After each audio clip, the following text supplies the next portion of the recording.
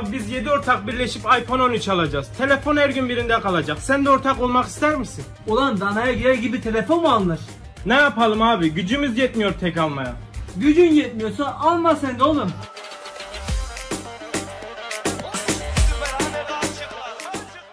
Buna kadar 2 lira.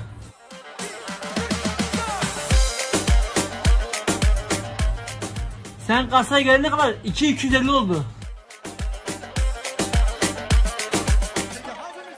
Buna kadar 1.70. 2.20 oldu bu da.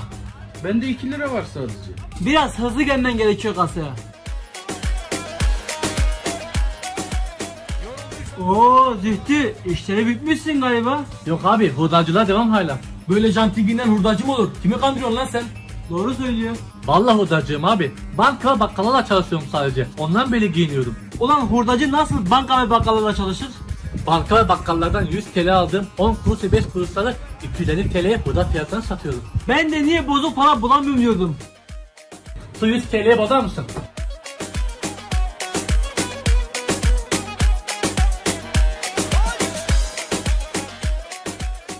Ulan senin gibi fırsatçılar yüzünden kasada bozuk para kalmadı.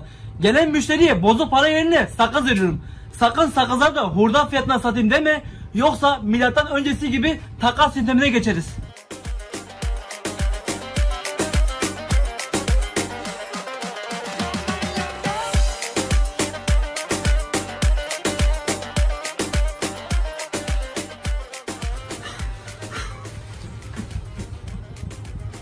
Buz vardı sende değil mi abi? Var da içkiyi başka aldın değil mi?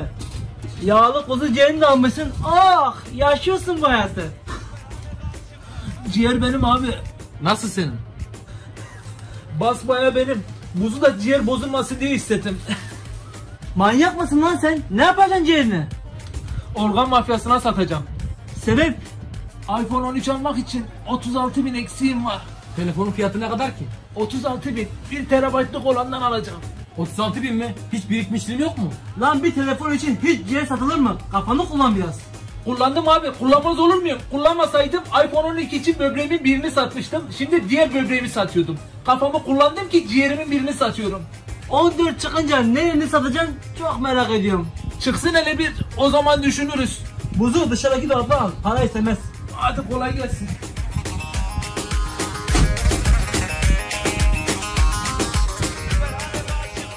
...13 çıktığına göre ben artık iPhone 5 almak için para biriktirebilirim. 6-7 yıl önce 36 bin liraya sıfır araba satıyordu.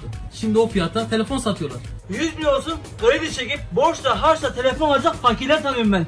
Abi bu fiyatların bu kadar yüksek olmasının sebebi ne peki? ÖTV. ÖTV ne oluyor? Bir tane ürün alıyorsun, iki tane de devlete alıyorsun. Heh yetiştin bu sefer.